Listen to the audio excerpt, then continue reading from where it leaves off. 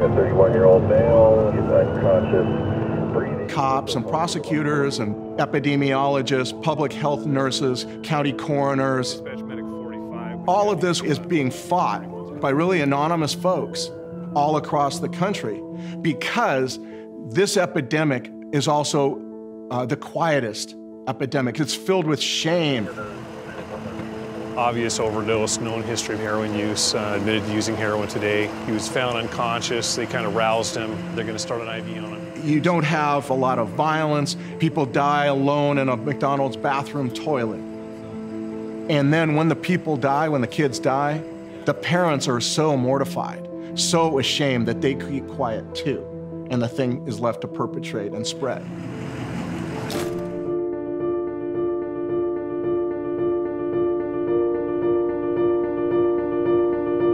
This wave is hitting every community across King County, sparing no race, no age, no gender, no neighborhood, no income level. Just in the past six months, I've had to put five officers' kids into treatment for heroin. I had never seen that before. I couldn't imagine.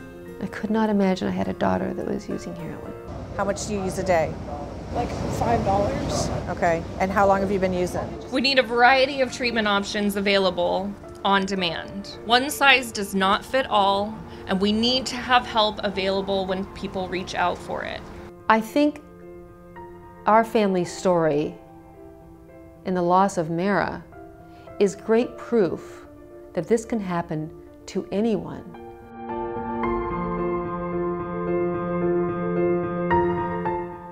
I'm Enrique Cerna of KCTS 9, and welcome to MOHAI, the Museum of History and Industry, uh, here on Seattle's South Lake Union. We are here to talk about a public health crisis. It's the growing epidemic of opiates and heroin, taking lives and tearing apart families. Here in King County, more people enter detox for heroin than enter treatment for alcohol. Unfortunately, this is not a new challenge. History tells us we've been here before. Let me turn now to Mohai Executive Director Leonard Garfield to give us some perspective. If you could stand up there, Leonard, for me. Uh, share for me a bit of the history of opiates and heroin addiction here in Seattle and King County. You know, Enrique, it goes all the way back to the late 19th century. Not long after the American community here really got settled, opiates and, and drugs like heroin came into the community. We were a wide open port city connected to the rest of the world, really, and that kind of trade was part of being a maritime community. By the early 20th century, we actually had opiate addiction, pretty serious problem, in neighborhoods like Pioneer Square. And social workers would go down in the early 20th century to Pioneer Square at night they try to rescue uh, opium addicts, uh, oftentimes women, sometimes women involved in the sex trade, and they take them back to more respectable homes where behind closed doors you could often hear the anguish cries as they were going through forced withdrawal. And it was a problem that just escalated. During World War II, for example, as thousands of people came to join the workforce, to live here, uh, fairly transient, uh, drug issues and addictions with opioids came with them and all the way up into more recent years um, in terms of challenges of usage, challenges of treatment, um, needle exchange programs pioneered here in, in Seattle, and then the challenge of homeless young people on Seattle streets in the 1970s and 80s, where drug addiction uh, and the sex trade often were linked, and those were challenges. So things have changed over time. The geography is a bit different, the complexion a bit different, but there's a long, continuous history there that I think helps illuminate some of our discussions today. You know, uh, people have asked me, why are you doing this in MOHAI? Because MOHAI really focuses on, uh, as a museum in history. Um, why is this important?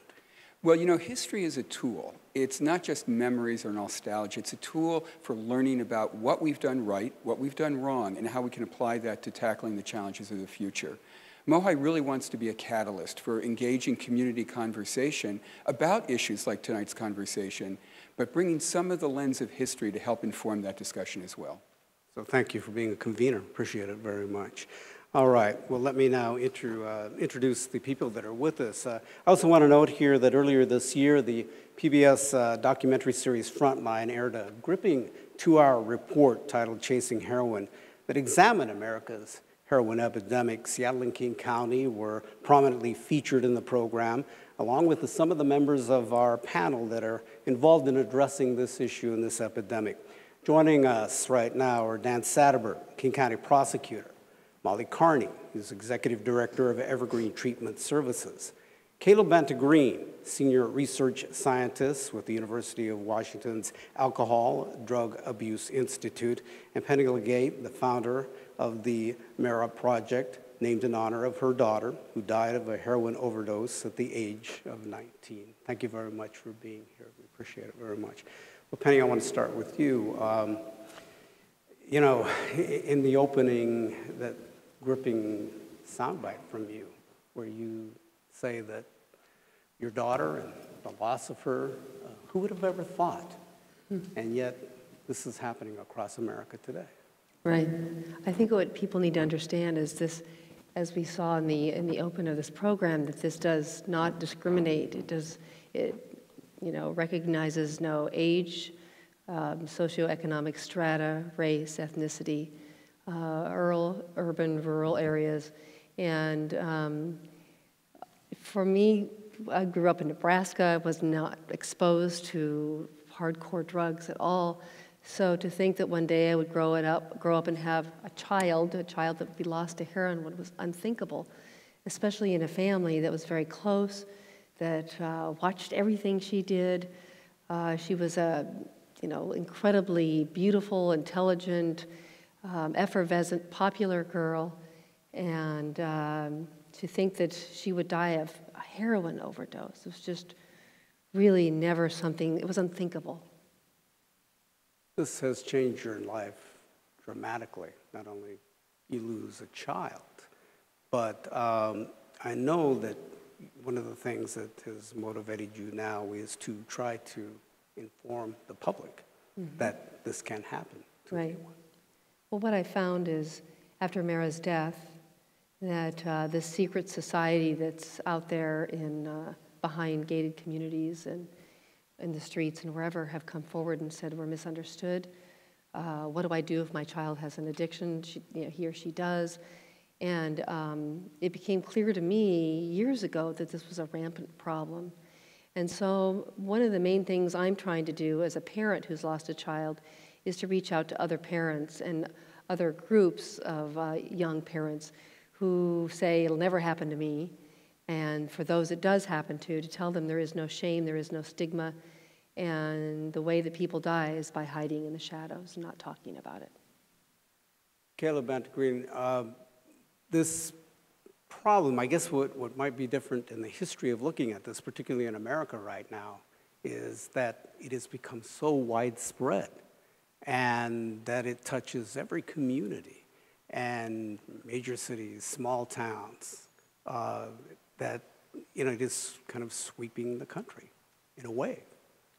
Right. I mean, I, the issue is is that um, people are wired to like opiates, and as uh, opiates began getting prescribed in much greater numbers about 20 years ago, many people who would never have had them otherwise were exposed to them and found out they liked them. Um, and so that's a happenstance of people's genetics, but also family history, trauma, social context, but we just had an explosion in opiate prescribing. And what we know now um, is that a majority of people who are using heroin say they were hooked on prescription opiates first. So if there ever was a gateway drug theory that was appropriate, it actually is that pharmaceuticals can lead to heroin for people who are abusing them. So we have a dramatic increase in those opiates, and that's why it's hitting all aspects of society, including rural areas. It isn't that rural areas are catching it from urban areas, it's that rural areas also get prescribed opiates, they also have pain, and they also can be diverted and stolen and misused. Um, and what happened is, is that as those opiates became harder to get, uh, heroin just came in and, and filled that need for folks. One of the things that the Frontline documentary um, taught us, uh, informed us, is that um, the pharmaceutical business really kind of helped kick this off, and but yet that the, prescri- the prescribing of, of opiates today still continues. Mm. Uh, I had sinus surgery a few years ago, and I was given quite a bit of OxyContin afterwards, and I have to admit I still have it. I, I haven't gotten rid of it. And I would dare say that there are a lot of people like me that have had these similar surgeries or whatever, and they still have the medication. Well, right. So we're always going to have pain, and opiates will always be a good pain medicine. But it's trying to make sure that they're the right medicine for the condition the person has.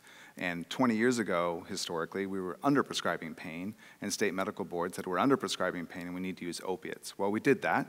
And about five years ago, that actually started to level off, and we've seen opiate prescribing coming down, still at higher levels, but opiate prescribing has come down. We'll always have opiate prescribing. We'll always have pain. So what we need to figure out is when is the appropriate time to use opiates as well as other medications. There's a lot of other things that people use for physical and emotional stress, like alcohol and other drugs and other medications and heroin. They're all part and parcel of the same issue, which is that how do we medicate uh, discomfort and should we be medicating discomfort all the time? Should we? Uh, no. so the, the, it's really important. But it's so, like the American way. Right. Well, and I think that's part of the point is that, you know, if you go to the doctor's office and you have pain, you need to leave with something, and that, that something uh, isn't a, a, balloon or a sticker, uh, it's opiates. People want to leave with something, just like with antibiotics. And just like we've been shifting the conversation that antibiotics aren't always the right medication, they can do more harm than good at the individual level and the population level, so too do we need to make that shift really early on. Um, so we need to be targeting really young uh, children and their parents to understand are medications the right answer? And if they are part of the reaction to a health condition, what else should they be doing? Because it is the rare medical condition that is fixed by a medication. Many other things need to happen, particularly when we're talking about emotional and physical pain. Uh, and that takes some more work. It takes active uh, effort. And we have been sort of sold that things should be passive and easy and, and, addressing stress is not a necessarily passive or easy thing to do, but it's something we all have to be able to do every day to function. Molly Carney. Though, if I can jump in. Yeah, please do. Enrique, is that we are still seeing, at least I have personally, when I've had a couple of, um, I had a broken bone and some other issues around pain, people just wrote a prescription for me for 30 Oxycontin without even asking, how's your pain level? And so here I have, you know, two prescriptions of 30 oxys in my closet. And I was shocked by that because I thought that we were doing better in that regard. This is within the last year. So clearly the message hasn't gotten out to prescribers. And what, do they look at me and say, you're not a person that looks like someone who's going to abuse heroin? I don't know. Um, I just don't think the message is still to doctors and prescribers that this is a dangerous medication and we don't need it for abscessed teeth or, you know, uh, people go in, I hear of kids going in to have the wisdom teeth taken out and they're getting opiates for it. And so I'm, I'm still really alarmed that I do think that opioids are still being prescribed at high levels out there. That's been my personal experience. Molly Carney, I'm sure this is what you hear as someone who heads up treatment services for Evergreen. Yes, um, absolutely. So we run a medication-assisted treatment program for adults with opioid use disorders, and you both said something very important that needs to be followed up is what do you do with those opioids that are in your medicine cabinet? Because that's one of the uh, pieces of information that have not been shared appropriately yet with the, the public, and there are ways to properly dispose of them. First, they should be locked I always say, I don't care who you live with, you should keep those locked in your cabinet because you never know who may be rifling through your medicine cabinet. And then when you're ready to, di to dispose of them, they should be uh, crushed up in cat litter or coffee grounds with liquid added to them and then thrown in your trash. Don't flush them down the toilet. So that's a very important piece. In terms of the prescribing practices, opioids can be very useful. It's a question of the quantity in which they get prescribed. Mm -hmm. So uh, removal of wisdom teeth might be uh, a situation where opioids could be very useful, but I always, again, I say, have a conversation with your pharmacist. Don't take 30 Vicodin home, take two. You know, so there's, there's an issue around helping the public understand that these are dangerous medications that can lead to problematic behaviors, and that you all, as consumers, have a way of interacting with these dangerous medications to keep your, yourself and your loved ones safe. But what about physicians? Where's their responsibility in this? Well, I mean, just to be really clear, so right now about one in five adults is prescribed an opiate medicine every year and about one in 10 adolescents, so they are widely prescribed. And so physicians do have a responsibility and other prescribers as well to make sure that opiates are being prescribed when necessary. But what I'm, what I'm also want to make clear is that that's the supply side, but there also is a demand side um, that is sort of generally in society that we like to get stuff and patients show up and they also think that that's the right answer to their medical problem. And so, absolutely, and there's a lot of education going on with physicians. There are a lot of efforts to try to rein in opiate prescribing, get it under control, make sure it's being prescribed at the appropriate times. But also, I think it's just as important that as consumers, which we all are, and as patients, which many of us are too often, um, that we also know what the expectations should be you know, if you're going into a doctor and you have a, a, medical problem that has pain that you're saying is at an 8 out of 10, you should understand that opiates, a successful re regimen of opiates might get you down to a 6, not a 0. 0 is not good, 0 is dead. Okay? So you want to really have a reasonable expectation of what opiates can and cannot do. They might be able to help some with pain, but that's, that's a two way conversation. That's a conversation that the physician should be trying to initiate and the patient should want to engage in. What we're hearing over and over again is um, people are sort of shocked and amazed that they don't realize that you can overdose and die on opiate pain medicines. Even that little bottle of 30 Vicodin can kill you. People don't understand that. And if you use it on a regular basis, you will physically become dependent.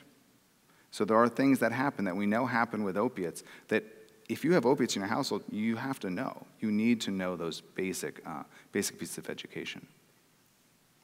Dan Satterberg, uh, this issue uh, has really required some change in the criminal justice system uh, because it is a public health issue. But for most people that work in the criminal justice area, it's usually get the bad guys or somebody's breaking a law, you put him in jail. But as the documentary showed us, uh, the Frontline documentary showed us, that Seattle is, has a, a, LEAD program, a law enforcement, a, a assisted diversion effort going on. We'll talk more about this with others. But it, it's really having to change the way you and others in criminal justice work. Well, it's good to be here at the Museum of History and Industry, and, and it is history, it's recent history. 30 years ago, we were also hit with what we called an epidemic, and the issue then was crack cocaine. All of a sudden, cocaine could be available in a $20 hit. Anybody could get marketed widely in the urban core of every major American city, and it, it freaked people out. And our response back then in this state and every other state was let's get tough. Let's triple the sentences. Let's send people to prison. And the criminal justice system was given primary responsibility to deal with that issue, which was also a public health issue. So I hope that we've learned something in the 30 years and we're not rushing in to repeat those mistakes. Now, there's a role for the criminal justice system, don't get me wrong. I mean, if we find people who are selling heroin for profit, I have no problem prosecuting them, but those aren't the cases that we see very often. Most of what we see is one addicted person selling a tiny amount of heroin to another addicted person so that they can both get through the day. And in those cases, I think we have now some wisdom gained over the years to trust some of the public health professionals out there to look at science, to look at the, the, the way that the, the treatment modalities work, and use the criminal justice system to help nudge people in that direction. But we don't come down on them like a hammer now and, and figure that just sending people to prison is going to get us out of this situation. We did that once, and it's always going to be known as the war on drugs, and it's always going to be known as a spectacular failure. Uh, I'm determined that, that we don't repeat history in this case. But you had to work hard to kind of reach this point because before you got to this point with the LEAD program, there was a lot of uh, knocking heads between uh, you and people in the Public Defender Association and others that are working in this area, probably even with the treatment folks, about how you're handling it. Well, but, but old prosecutors can learn new tricks and we can find new partners and, and just really, I think, knowing that we have the ability to change lives uh, you know, in the system, we have the drug court. We've used that for 20 years, and that, that's an abstinence-based 12 step program, and, and, and, it's worked for lots of people for lots of, lots of years. But we also have some new approaches, too, that don't even require us to get people into that courtroom. In fact, we don't have the capacity in our courtrooms to get all the people help who need help. So the question is how can law enforcement uh, and, and work together in, in um, partnership with public health experts to really address the medical needs here? I want to bring in uh, Chris Nyrop. He, uh, Chris, can you step up here with me, please? He's the lead national support director for the uh, Public Defender Association here in Seattle. He's been involved in this type of work for a long time. I take it you and Mr. Satterberg know each other quite well and have, have maybe have had those sessions where you're knocking heads and all that stuff. But, um, you know, one, one thing about the LEAD effort is that some people are saying it's, it's harm reduction. And there's been concern about, you know, is that really the way to go? Well, yeah, and I think it gets to, to, some of Dan's point that you need a broad spectrum and a continuum of responses to this. And one of the things that we've discovered in the LEAD project is that we're working with a population that is chronically homeless and chronically addicted. This is a population where sanctions often don't work. Some of these individuals have spent lengthy, lengthy times in the Washington State Penitentiary. Some of them have re relapsed within 24 hours of being released from prison and we can't even stop people from using while they're incarcerated. So this is, this, this is like this need for this reality-based approach where we try a variety of different responses to people who use drugs. And one of the things that we discover in the LEAD program is that it's not flipping a switch. It's working with people intensively over a prolonged period of time until they can get to a point where they're actually capable of making changes. Can this make a difference? Oh, absolutely, and we're seeing it dramatically uh, in just in the LEAD project here in Seattle, and it's now being replicated. It's been replicated in Santa Fe, New Mexico, and in Albany, New York, and there are jurisdictions literally from Maine to California, ranging in size from huge cities like Los Angeles and Chicago to tiny little towns. But do we know if it's actually um, decreasing or putting a dent in the number of people that are using heroin? That we wouldn't know. What we do know is that it's making a difference for the individuals that are interacting with the program. But one of the things that, that we, we know is that, and it gets kind of to a point that I'm really glad that Dan made, referencing the crack epidemic, is that, that we have epidemics of drug use in this country all the time, and they're very cyclic. And so far, nothing that we have done has stopped those epidemics from happening. And we tend to be very, very reactive to things that happen. So we reacted to the crack epidemic. We reacted to the AIDS epidemic. By the time we started doing anything with the AIDS epidemic for drug users, there were communities in the United States where 60 to 70% of the people were already HIV positive. So I'm hoping that the discussion that we're having now and that's taking place in other parts of the country will get us out of a reactive mode and start coming up with some sort of broad public health-based approach to this. Are we getting there? Thank you very much. Are we, are we reaching this point where we're not being reactive, but we're trying to figure out, you know, how to how to deal with this to preempt? Um, so I think we, we want to make sure we really understand, and the, and the general public needs to understand what we're talking about with opiate addiction. So everybody in this room, if they took opiates regularly, would become tolerant to them. A small proportion of them would become addicted. Their use would become out of control. They'd be physically dependent, and they'd have preoccupation, they'd be thinking about it all the time, they'd have compulsive use. It would disrupt their ability to show up to work, have good friendships, it would get in the way of those things. That's opiate addiction. That's a medical condition that is driven by bi biologically what's going on in your brain, needing opiate receptors. Untreated opiate addiction is a potentially fatal condition. We have medications that people can take that bind to those opiate receptors and help them feel normal that cuts their chance of dying in half by 50%. That's a fundamental understanding that people need to have is that opiate addiction is not a fault of a person. It is a medical condition, and we have medical treatments that can reduce mortality. And that's a basic understanding that everybody in society has, not just so that if I become addicted, I can go talk to my boss and my friends but also the prosecutor who understands when he's interacting with me, we're dealing with fundamentally a medical condition and that that's, we don't usually use a law enforcement hammer on most medical conditions. We don't use it on uh, people who drink alcohol. That's not what we do. So trying to rethink, rejigger all of that so that we can get acceptance in our society, so we don't have stigma making people hide from their families, making families hide from other people. This, this takes social support. It takes everybody really working together to deal with this problem because we have the tools, just most people don't know about them. I want to bring in uh, Thea Oliphant Wells. Can you come up here with me, Thea? Uh, you're a social worker at, uh, with Seattle and King County, but you've been there. You were an addict at one time. It's true. I was addicted to heroin 10 years ago. How, I guess, how did you get there, for one thing? Oh man, where do I start with that? Um, I think um, being young and being traumatized probably was the way in for me. Um, you know, opiates are great painkillers, whether that's emotional pain, psychic pain, physical pain. Um, and I was definitely in some emotional pain as a teen.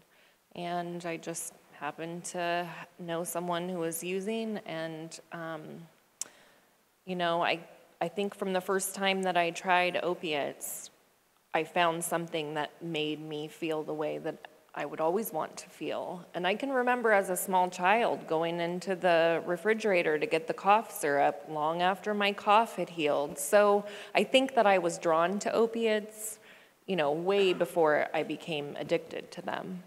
How did you get out of it? Well, that's also a long story. Um, it, it wasn't any one thing. And long before I stopped using heroin, I had people working in my life to try and help me get there. Um, and I think that that's so important.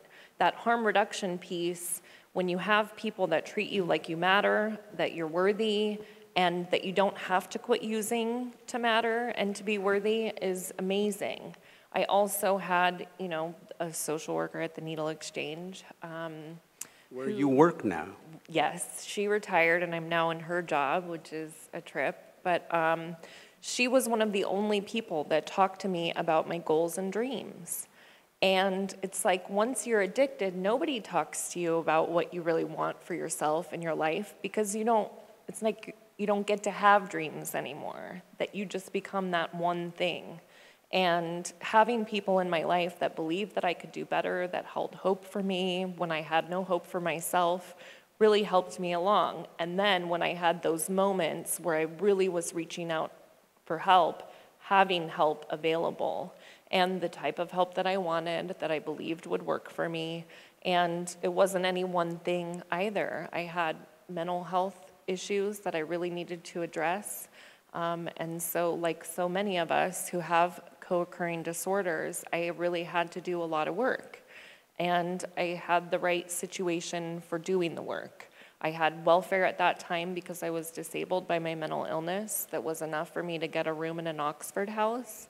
A lot of times nowadays, there isn't a safe place where you can start building your life in recovery. Um, then I just had the, the perfect set of circumstances to really rebuild my life. To ask you uh, what some might feel is an inappropriate question, but how old are you? I had to think about it. Um, I have that trouble too. I'm 39, um, and I'm certainly not shy about my age because I'm lucky to be alive this long. That's why I asked you because I've heard you say that that's one thing that you are willing to say, how old you are, because you never thought you'd get there. Yeah, my 30th birthday, I was in recovery, and of course, as women do, I'm worrying about being 30. And somebody said, Wow, it's such a trip that you're still alive. And that just sort of shifted my perception because I've buried a lot of friends over the year. Well, I'm glad you're alive. Thank you very much. I appreciate it. Um, yeah, give her a round of applause. You know, um, Penny, let me come back to you on this um, stigma, stigmatizing in this whole issue. Your daughter talked about some of these issues mm-hmm. and that how what she what she wanted people to know mm-hmm. about the trouble she was dealing with and, and her mm-hmm. addiction. Right, Marah for you know her I'd say five years of drug use had escalated um, through alcohol and marijuana, through cocaine and then treatment and not against not you know it was totally against her will. And then she came out, and I think she started to accept the fact that she had a problem. And she unfortunately uh, stole some Oxycontin, and, and she and her boyfriend started to use it together, and then she became a full blown opioid addict. And of course, heroin was cheaper and more available. And um, through that last couple years, she she came to fully own, as she said, I own that I'm an, ad, I'm an addict. She would use that word. She said, I'm an addict, I'm a drug addict. And she would talk to other kids at her school and other groups of people and just laid it out there. She wasn't uh, afraid of being judged. She, she knew who she was and she owned it and she worked real hard to get well. And she started the AA 12 step program. She got a sponsor. And um, as we'll probably talk further tonight, there's so many, uh, such a complex disease that there's no one avenue to sobriety and recovery. And uh, for people who, who um, try the AA program, some it works, some it doesn't. But we all know this is a disease of relapse. And she worked hard, did the 12 steps, and um, I don't think she had been using for a long time. She was living with me then when she died. So she was trying very hard. Uh, I want to tell folks here that if you have a question or comment that you'd like to make, please step right up here in, in the aisleway, and I'd like to work you into the conversation. Don't be shy, please. I, would like to do that. Um, I, I, want, I want to talk more about treatment and, and the challenges here. Um, we, we seem to be doing a pretty good job of telling you that there is an epidemic and that, you know, we're obviously getting a lot of coverage about this as we're doing tonight. But one of, it seems to me one of the huge challenges is the treatment area and, and getting people into treatment, but, I, but also uh, for communities to accept where people can come to get treatment. Molly Carney, talk about that. There are so many challenges related to the treatment system right now. Um, as has been alluded to earlier, we do need a lot of tools in our toolbox so that people can try the type of treatment that they are inclined to try.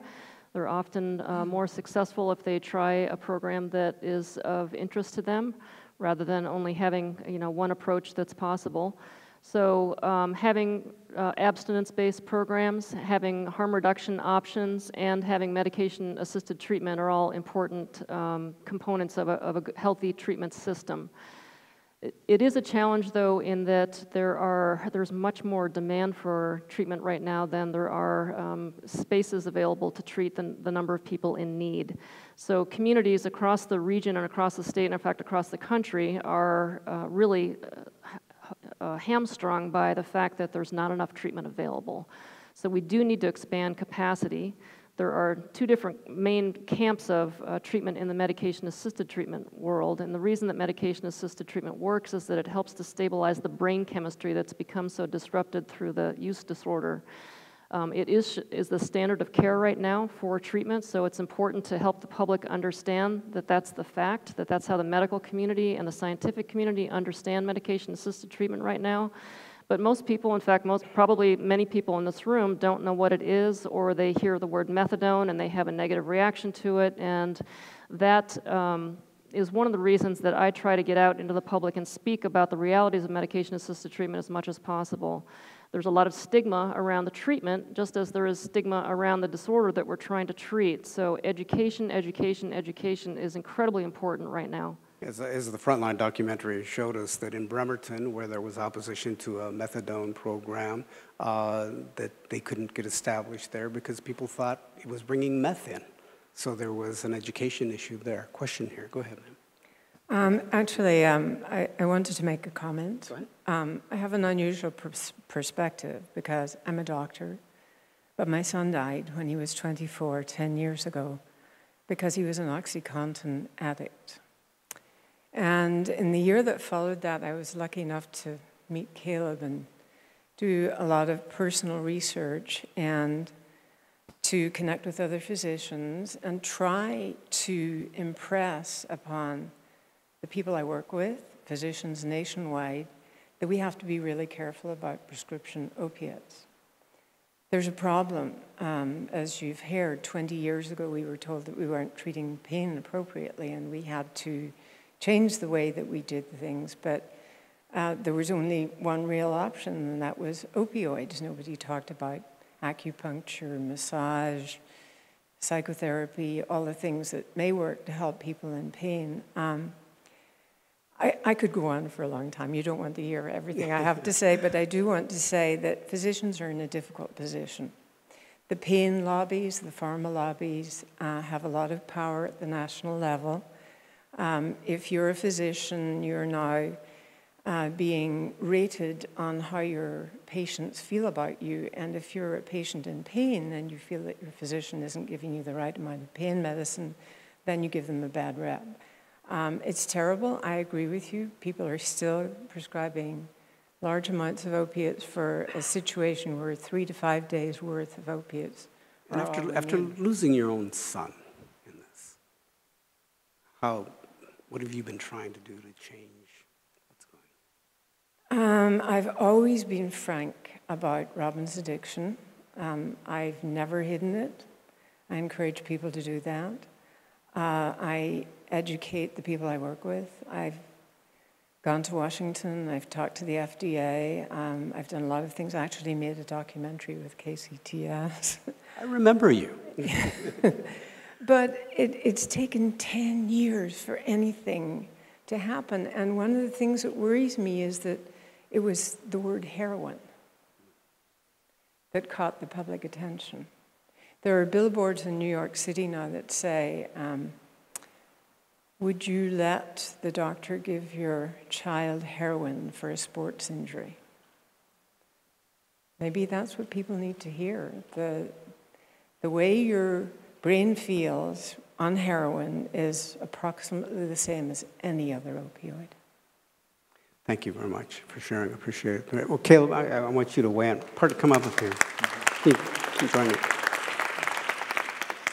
you want to respond to that? I mean, she brings up such a tremendous point.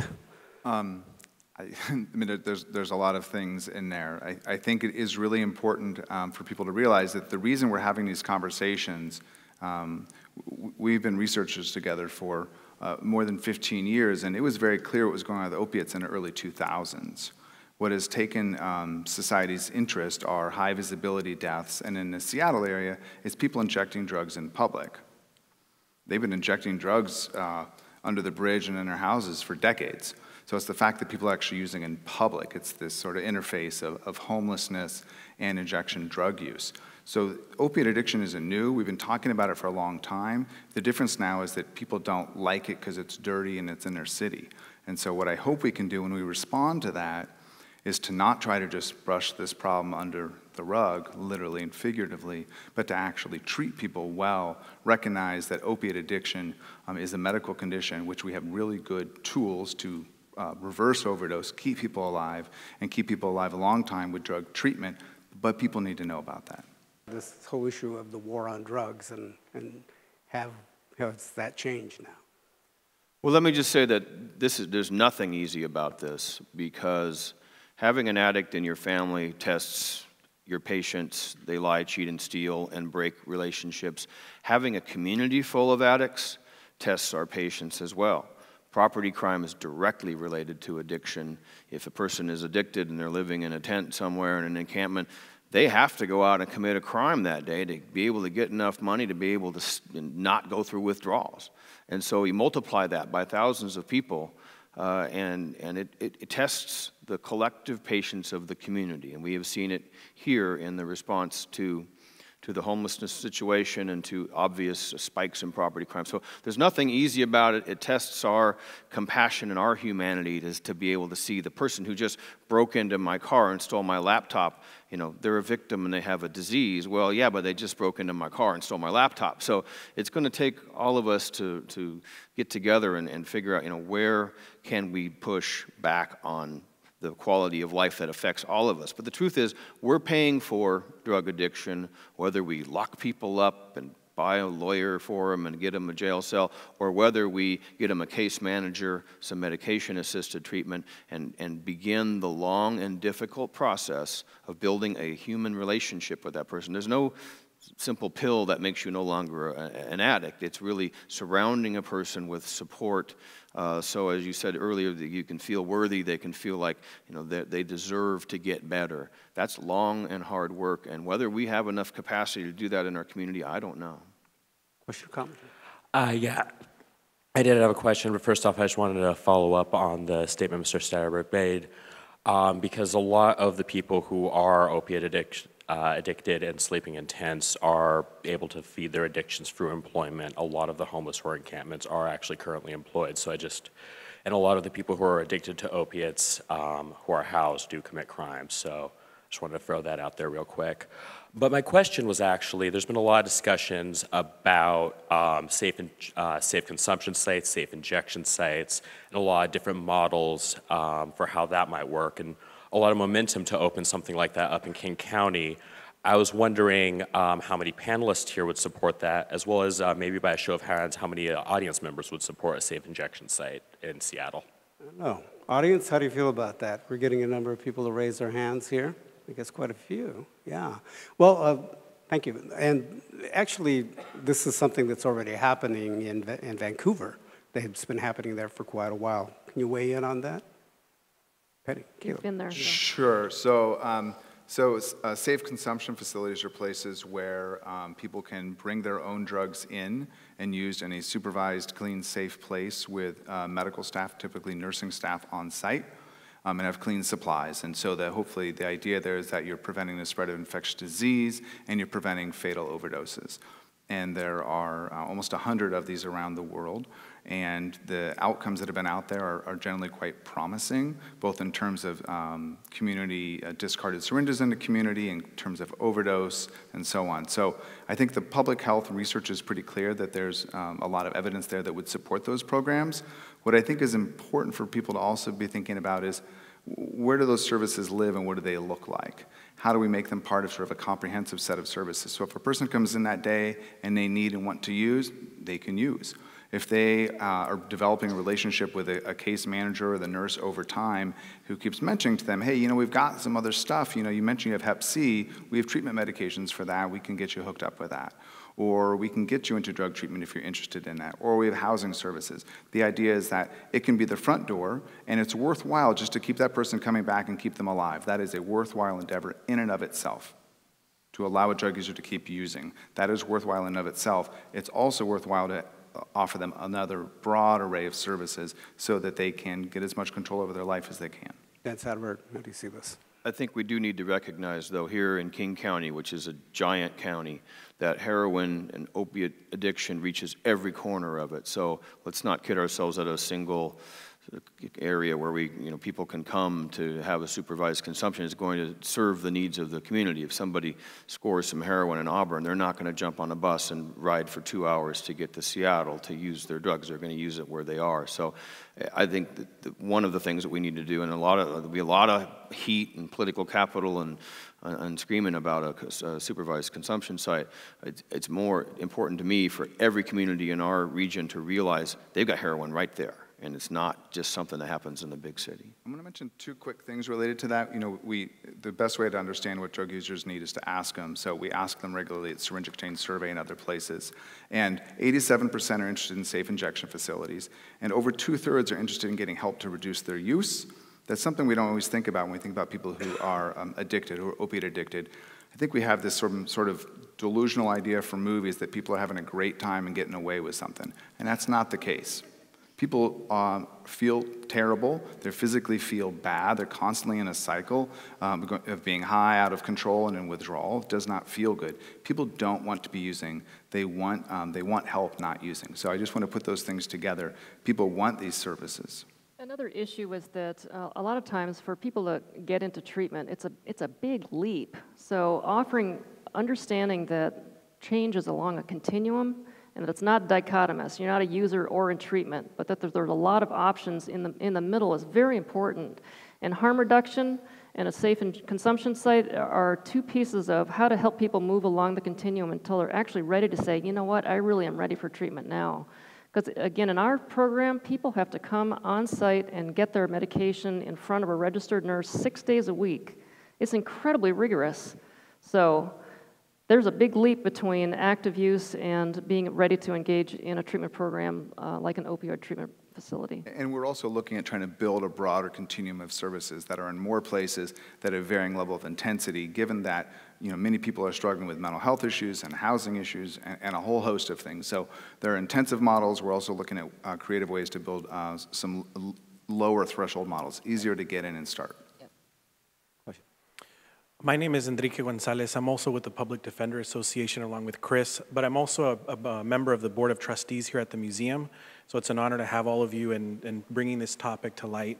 Um, my question is actually two-part. Um, The first is that, you know, it was mentioned that this, this epidemic crosses racial boundaries and that everybody is affected by it. Um, I will say, though, that in communities of color, uh, the perception at least is that this is a response to a white epidemic and that this is uh, the, the type of reaction uh, is different now that more of white America is being affected by it.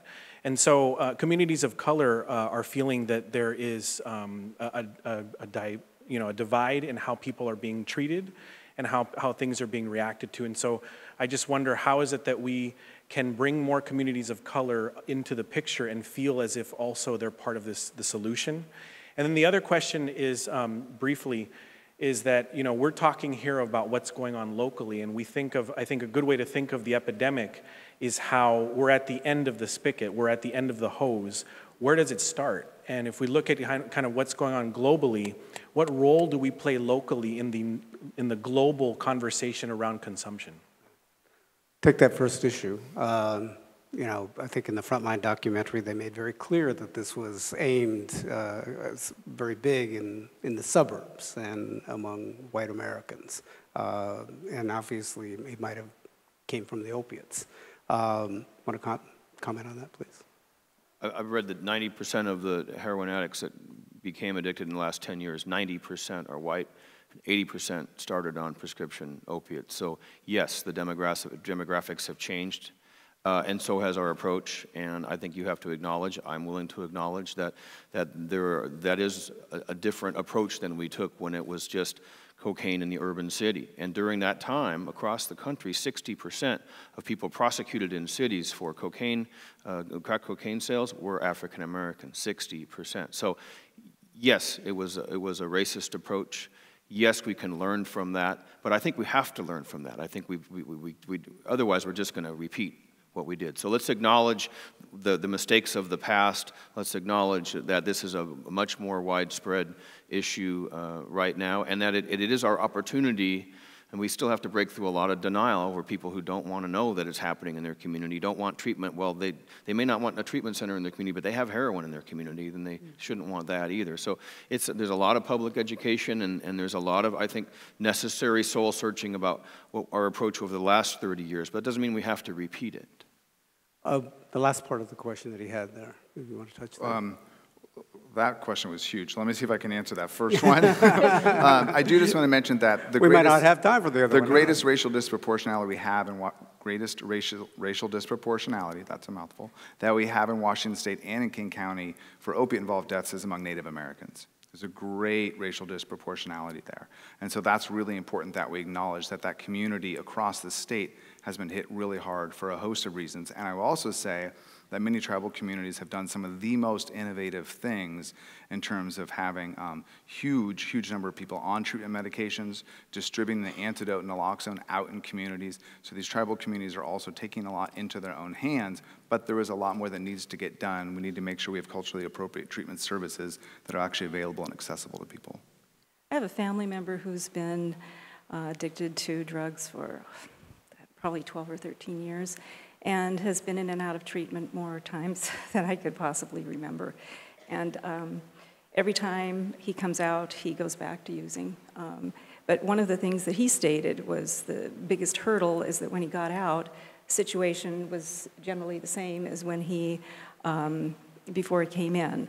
And since the situation hadn't changed, he uh, felt like the only thing that would help was the use of the drugs, which made him uh, uh, feel like he had a sense of um, normalcy. So I was just wondering if you've considered a longer treatment period. Usually 30 days is the standard for, you know, an in and out. The state will pay for it. And um, I was thinking if there was a longer period of time in which a person would be able to get some wraparound services with um, housing if they're homeless, um, drug treatment, I mean, of course, this is going to be addressed. Um, mental health issues, if um, that's a problem.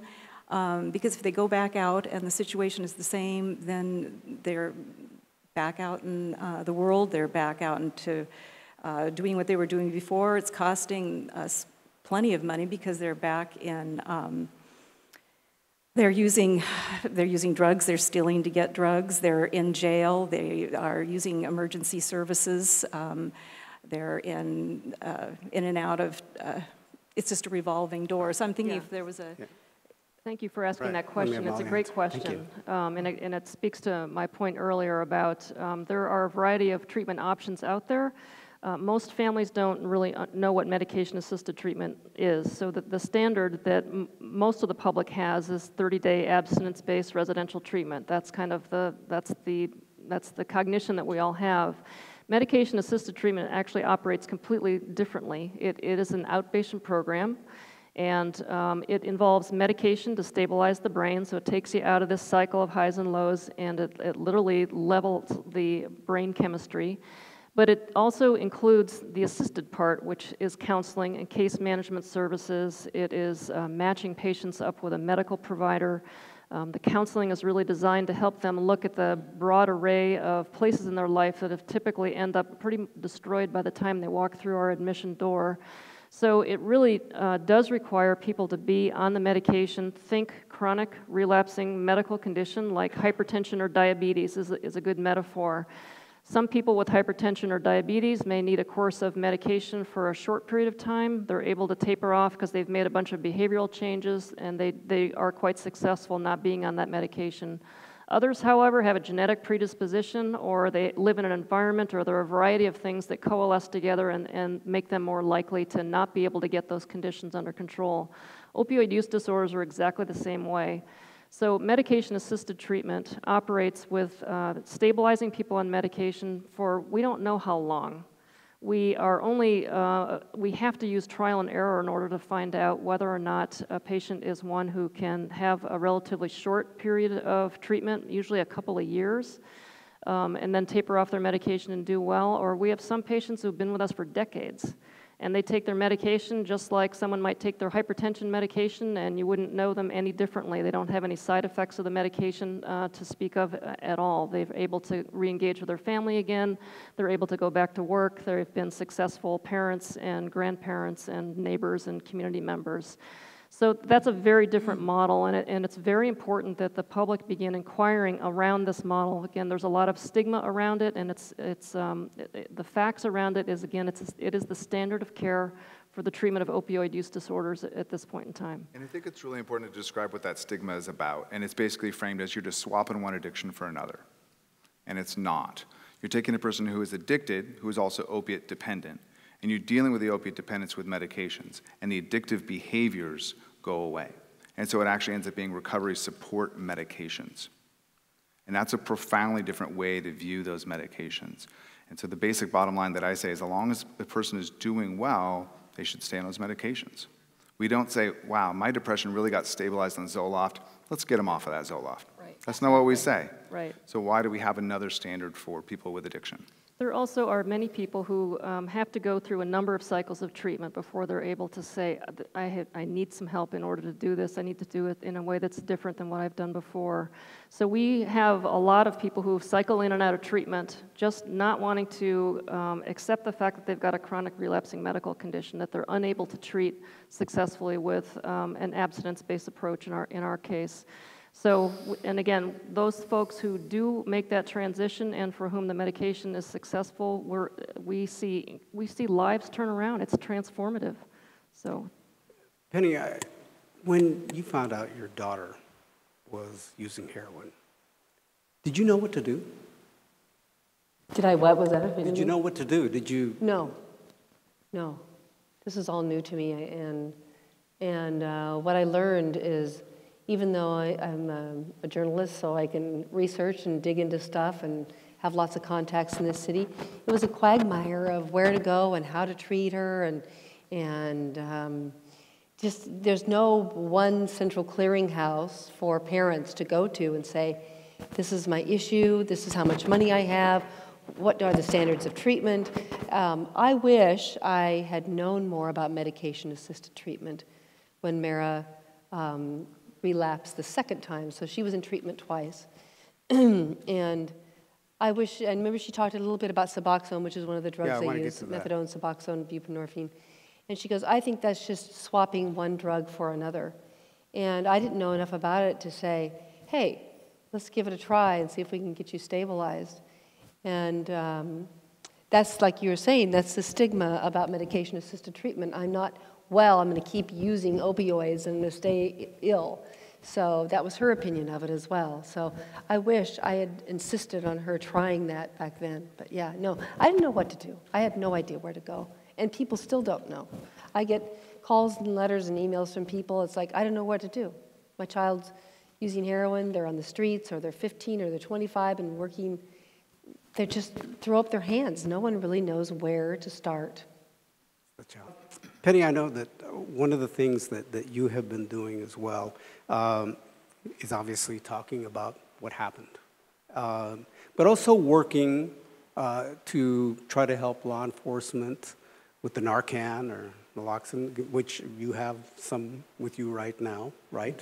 Uh, can you show us this? Sure. This, this, tell us more about this also. Sure. So the idea is, is that um, if a person is having an opiate overdose, an opiate overdose is a person having more opiates than their body can handle, and their breathing slows down, and it usually takes a few hours before the person dies, and that represents a window of opportunity. And so these, these are two intranasal kits for a medication called naloxone or Narcan, and this can, they literally get squirted up a person's nose, and in two to three minutes, that person can be breathing and alert again. And so there's a lot of different ways to get these medications out. We're actually just about to come up on the six year anniversary for Washington State's law, the second in the country, that allowed naloxone to get prescribed to anybody at risk for having or witnessing an overdose. I actually got this kit four years ago at a pharmacy, prescribed to me by a pharmacist. I didn't have to go to a doctor. And so people can find out where to get these medications at stopoverdose.org um, and find out how they can get these medications and how to recognize an overdose and prevent an overdose.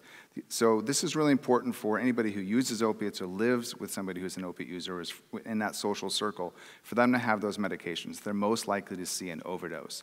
But there are other ways also to get naloxone out in the community and reverse overdoses.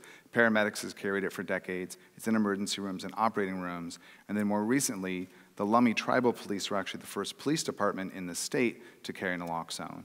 And um, more recently, uh, the Marah Project, through uh, Penny Legate's work, uh, the Seattle Police Department, the bicycle officers are carrying naloxone and have had several, several overdose reversals just in the past month. Is this going to be important for? Uh, and thank you, Penny, for the project for making this effort to make sure that law enforcement locally. A tiny piece of a very complex puzzle, but it allows that person who is in an overdose state to live to see another day. And Marah used to say, We're not throwaway people, Mom. And so I think of the people that the bike officers find on the streets or in a, alone in a uh, bathroom downtown in a public place. And, and you know, it's, it's so incredibly heartwarming to, to know that the bicycle cops are carrying it and that they want to carry it. And each time they've reversed, there's been six or seven of them now, each time they've done it, um, I hear from the police department, and you know, there's commendations to the officers who are out there really wanting to save lives. I know there's a lot of conversation about, you know, helping once you're already addicted, but what about the conversation about how to um, prevent things like this, um, especially from an early childhood uh, focus? Like uh, both of my parents um, heroin addicts. Um, my dad was pushed into school a year too early, so he was constantly behind. He grew up with really low self esteem, didn't feel good about himself, and then, you know, went into heroin. My mom was um, like molested and abused, went into heroin. Um, and then, you know, me and my brothers were clearly neglected because we had heroin parents, and my dad was just never around. So also my brother, since he grew up like that, we have you know different personality types. Um, he's really sensitive. Now he's on heroin on the streets somewhere, and it's I, a cycle. It's a cycle, but also I know from firsthand experience. I would go to school in you know dirty clothes and no food, and nobody cared. And nobody cared about my brother either. It, I, I actually, you know, and, I have a son who has like mental health issues, and I, I actually care, and I'm an advocate, and I've gone to And there's so few resources for, you know, um, mental health for children. They, I've been told get on a waiting list for six months. I've gone to, you know, um, psychologists and psychiatrists, and if they can't just diagnose and write a prescription, they're like, we don't know what to do. Um, the school district is terrible. They will only provide resources for children who are academically behind and let, let, me ask them a question here to not to interrupt i'm sorry but but where do you turn i mean she brings up a good point about at you know how do we educate uh, and how do we it's a prevention I mean, I first want to acknowledge her, her bravery um, for talking about these issues because they are real issues and they impact so many of our lives. So thank you.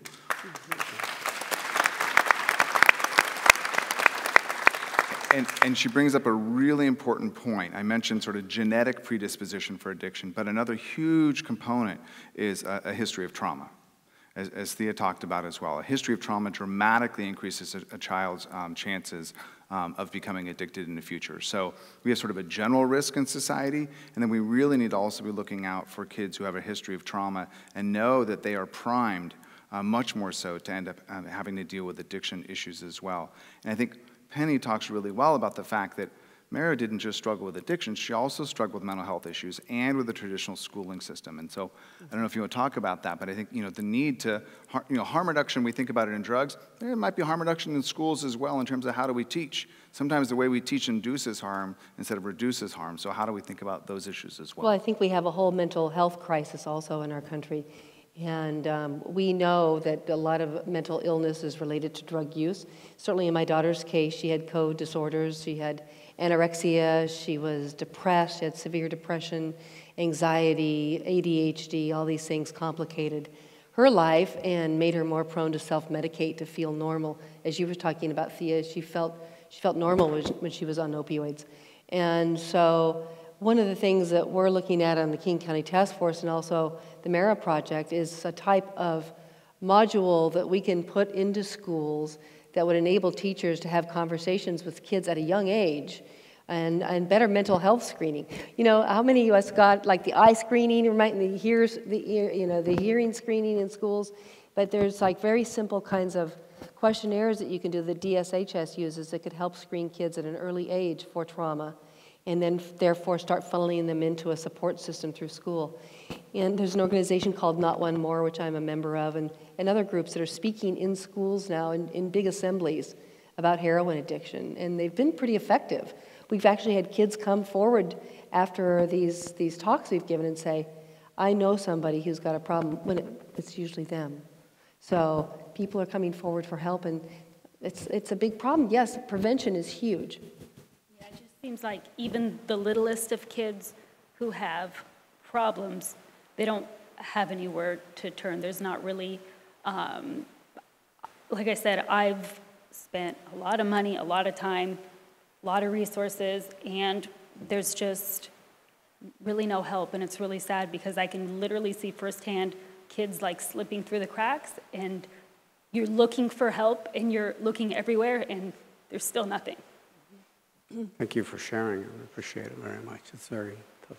Okay, I think we have time for to say hello there. Hello. Yes, harm reduction is very important. It goes far beyond the addict. I'm clean and sober. I have hepatitis uh, B as a result of a needle stick. I was on janitorial staff of the lodge, which I was a member of. So harm reduction goes beyond. I got hepatitis B from a needle stick when I was doing uh, trash removal at as janitorial.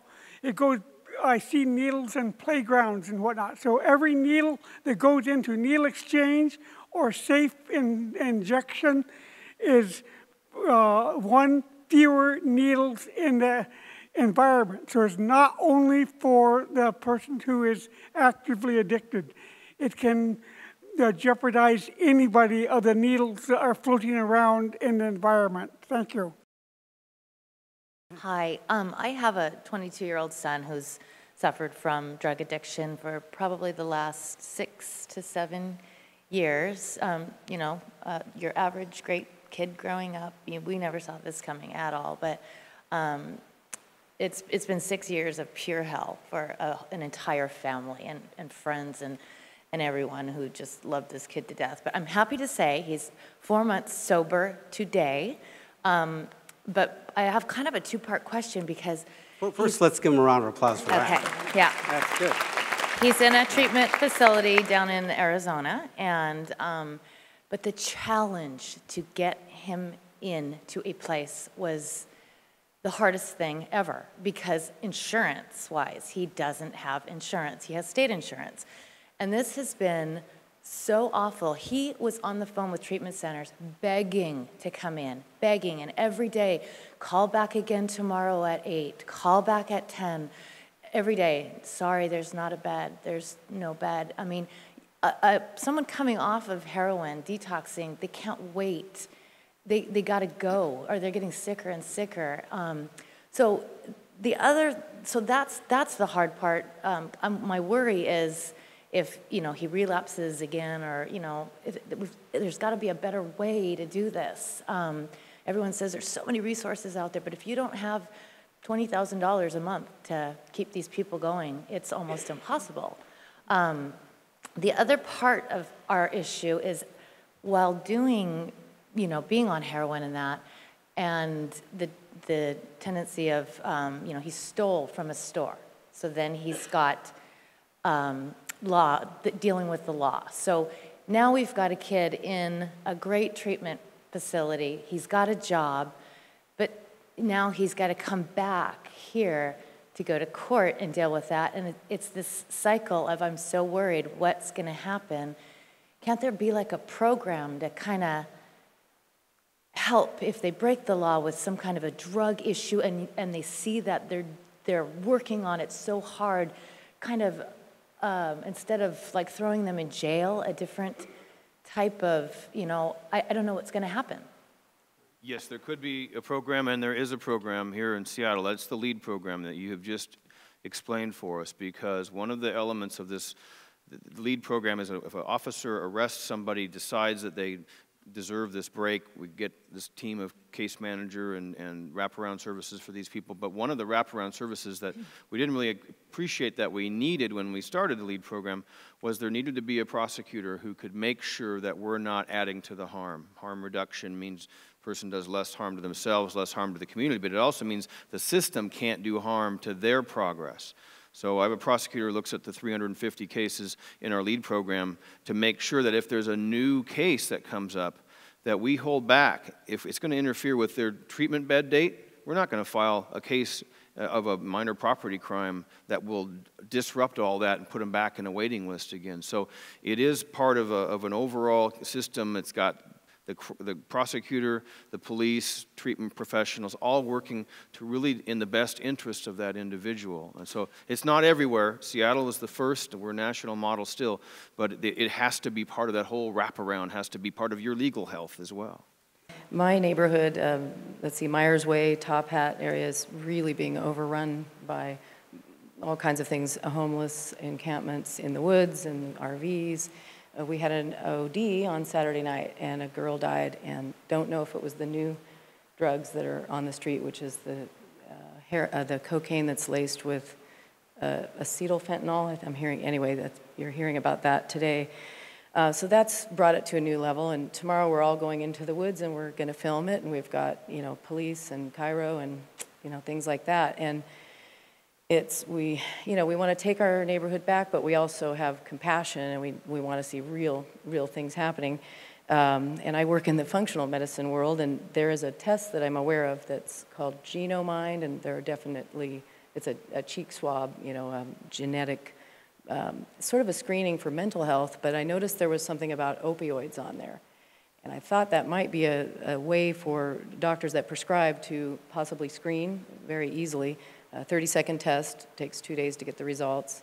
Obviously, when you're in an emergency room, that's not going to work, but that's just one idea. And also the Vancouver uh, thing, I, I, was interested in that, uh, what they're doing. And San Francisco at the um, the 24-hour shelters, like navigation, seem to be a good idea. There, you can bring your dog and you can bring, you know, your people from the jungle would probably agree if they had that situation.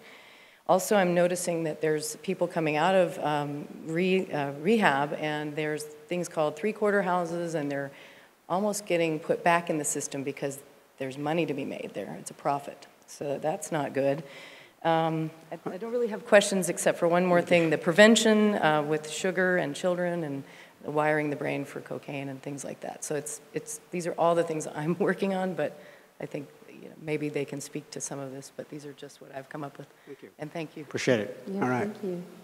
Actually, I want to move to a couple of my questions here so we can kind of get things wrapped up. Hi, Penny. Hi, Tim. Uh, I knew Penny's daughter well. Um, first and foremost, I'm, I'm, I'm the face of addiction. I'm a drug addict and alcoholic. I've been in recovery for a while. Um, I think my comment is for all the people that didn't raise their hand for those safe injection sites, get some more education. I don't want your sympathy. I want your education. Um, my question um, is to everyone involved. I, I, appreciate you all being here, very much so. Um, a, I want to um, ask, I've heard a lot of we wish, we're going to. I, I want straight ahead fact of this is the money that's going to this, this is the money that's going to that. I can talk about those things all day. I can say, oh, I wish that I had this, or I, am going to get to that. Um, also, I would like to know what other than, I mean, this is a wonderful place, and I'm really lucky to be here, and we all are. I want to know how are you reaching out in this capacity to the lower trodden community, the community that I consider myself still a part of, even though my life has changed dramatically over the last few years. So um, those are my comments, those are my questions. Thanks. Anybody want to take that on? Actually, let me turn to well, you know, I work at the Needle Exchange, the Public Health Needle Exchange, um, and we have a lot of customers that are coming in to do syringe exchange. People talk about not doing so well, not really um, knowing what to do next. Uh, they can talk to a social worker, and we talk about treatment options and other resources that make make life a little um, a little better if if there's something available. And um, you know, there's a lot going on with the task force. I think that um, it's amazing the amount of work that has happened in such a short amount of time. We're getting very near um, to talking about what our recommendations are.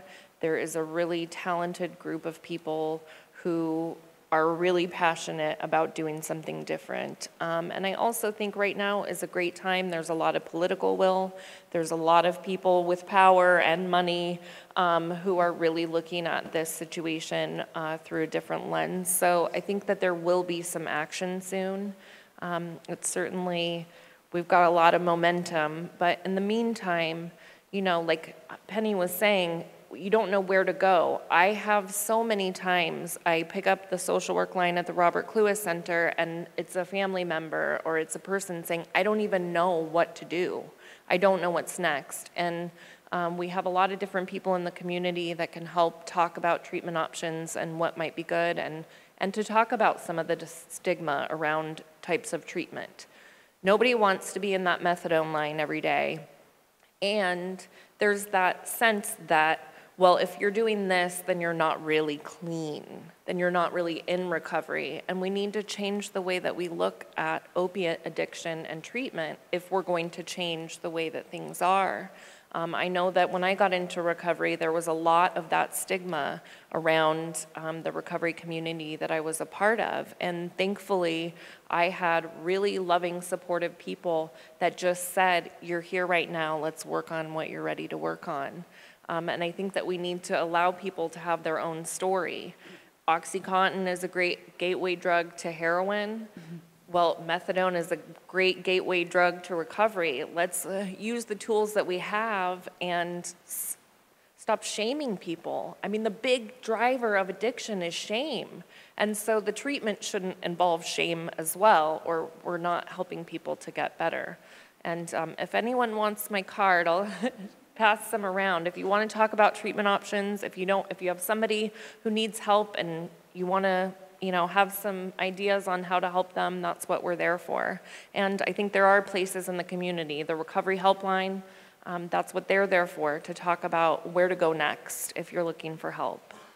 Can I take a can I take an answer to this? Yes. Um, there actually are a number of things that have already been done and, and are very uh, soon to come out of the pipeline.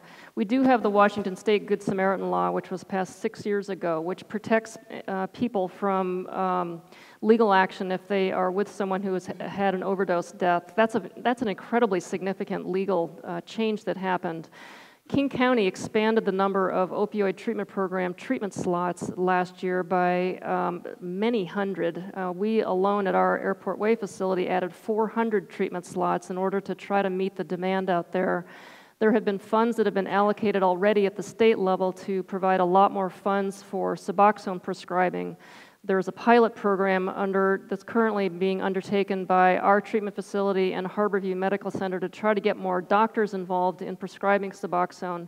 So there actually are a lot of things that have already happened. And then, as Thea just said, the King County Heroin Task Force will be uh, producing its recommendations in September of this year.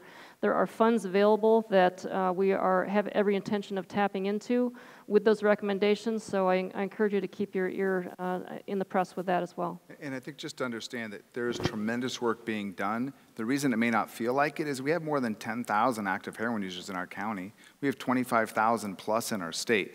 So that, there's a lot of work that needs to get done to meet that demand and meet that need and to do it in a respectful, evidence-based way. So I'm, I'm, a very impatient person. I'm, I'm with you. Uh, we, you know, we're doing a lot, uh, but there is a lot more to do. And the scale of what we need to do is, is truly daunting.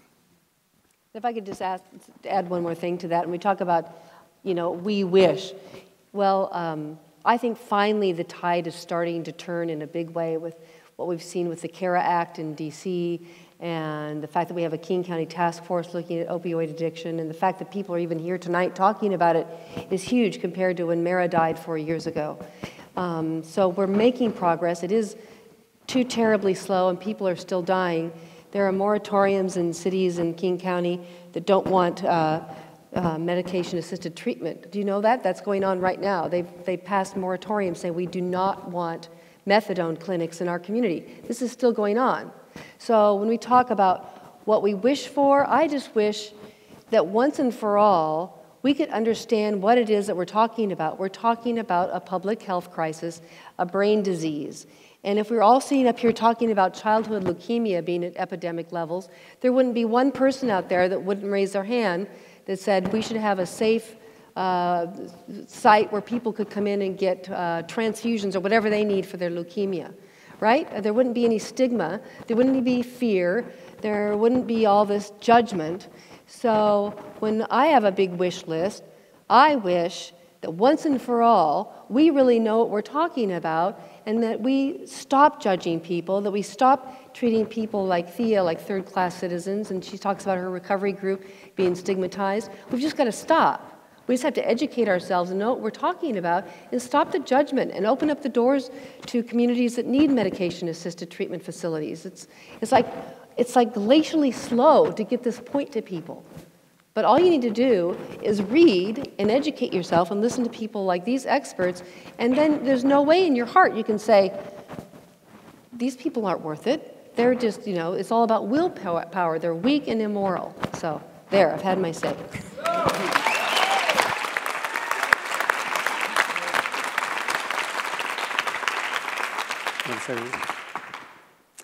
Uh, thank you. Uh, my name is Jarrett, and my, I guess my first uh, priority is uh, to follow my wife's wishes. She says, please don't embarrass me. so, so I'll see if, if I succeed at that. Okay. Um, Good luck. we'll see. Uh, I'm a retired clinical psychologist, but I, I didn't do any um, primary work in substance uh, use or abuse treatment. Um, but I did uh, do my, my doctoral dissertation research and later uh, clinical work on smoking cessation. Um, and uh, my dissertation was in the, the uh, mid 70s, but in the, in the mid 60s, over half the US population smoked. And I'm thinking about this from a sort of social and cultural transition rather than strictly a medical, you know, physical kind of issue.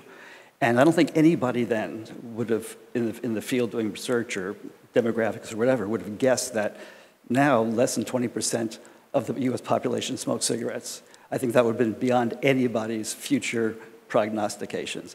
And it's not because there are that many people chewing Nicorette gum, you know, or, or, or have gone through successful treatment. This is mostly changes that were not treatment success associated. So I'm, you know, I'm just wondering if there's any potential parallels in what may be starting to happen, or hopefully what could happen with the uh, opiate use um, problem and, and, and the uh, uh, whatever societal and cultural and other non-medical issues that go along with it. Um, so I'm interested in any comments. The other, the other question I, or thought that I had is that even with this discussion, um, there was still a lot of examples that came up uh, from the curative perspective. Uh, detox, looking for a bed, 30-day program, 12-step. Uh, These are all curative um, uh, models and perspectives. And it sounds like some of that is still being offered. Uh, in fact, you gave a reference to, um, uh, was it the drug court associated with, and, and 12 steps. And as, uh, as Dr. Carney said, uh, the standard of care is medication assisted treatment. And so I guess I have, I have a little concern that there's still so much um, acceptance. Uh, both from the public at large and even within the professional medical uh, enforcement law enforcement communities of, of approaches that are really not consistent with evidence-based practice. Uh, at your, at your questions, Jarrett. Um, first of all, one of the things that really helped with the amount of tobacco use in this country was a, a very uh, focused public health campaign, and that's really what we're in the midst of right now. So I'm optimistic that that alone will have some impact on the number of people who end up getting into uh, troubles with opioids. Um, the second thing, and I just totally forgot what your second thing was. Was that curative versus Oh, the curative, yes. Well, um, so opioid treatment programs have historically been focused in urban areas. So there's a lot of communities, um, particularly in rural areas, where there are no other treatment options. So um, abstinence-based programs are the only option, and they, they can work for some people. Um, again, in the medical community, it, it is seen as the standard of care right now, and, and you heard me just say a, a, moment ago that there is a tremendous amount of effort going into trying to get more MDs to prescribe Suboxone in primary care settings. So unlike a specialty clinic like ours, which is federally regulated and offers a, a particular very intensive kind of treatment, there is a second kind of um, treatment that's available through primary care doctors um, using Suboxone. There are not enough doctors who are prescribing Suboxone. There's, uh, there is a lot of stigma about our patients with doctors. So there's education and discussion around that, um, and there, we're really trying to understand why aren't doctors embracing the very effective form of treatment is, that is available, and are there ways that specialty clinics like ours can provide kind of clinical backup for those uh, primary care docs if they have a patient that really doesn't do well in that primary care setting. Okay. Any final comments that you guys like to make tonight? Dan Satterberg.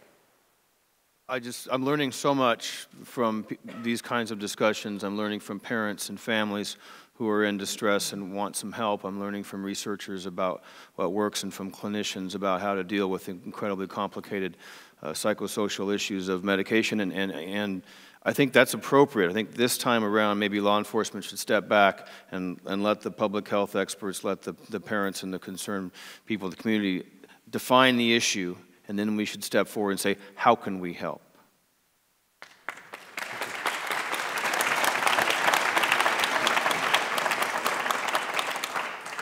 I am just, I am so heartened by the amount of curiosity and openness that I am uh, hearing amongst public discussions like this now. People want to know, and it's through that openness that we can really help educate people, and that's how change will occur. And then, you know, I think places to get information, you know, you, again, you, you cannot recover if you're dead, so keeping people alive is critical. So stopoverdose.org is a great place to get information about how to prevent, recognize, and intervene in an overdose. Um, we also, uh, for folks who want to know more about what are opiates, what is addiction, what is the role of treatment medications and psychosocial supports, um, there's a website, drugabuse.gov, from the National Institute on Drug Abuse that has really good information. And then in Washington State, people can just Google uh, the Washington Recovery Helpline and also talk with folks there about the range of treatment options that are out there.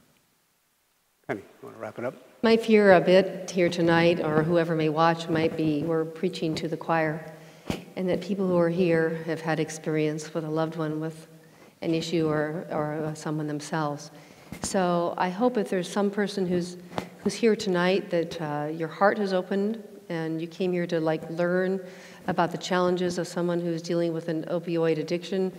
Um, there's nothing worse in your life than losing a child and trying everything you can to keep them alive. So my, I guess my last closing statement would be stop judging, stop the fear, and remember that people who are uh, substance have a substance abuse disorder are not throwaway people. Round of applause for our panel tonight.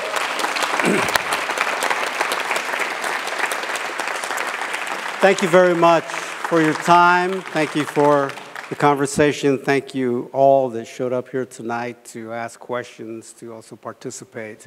Um, Thank you for being here on, uh, it's a pretty hot evening in Seattle, but you, uh, obviously this is an important issue, an important issue for our community. So thank you for, for all of that. We appreciate it very much. So on behalf of uh, King County TV, also MOHAI, the Museum of History and Industry, I'm Enrique Cerna of KCTS 9. Thank you for joining us. Good night.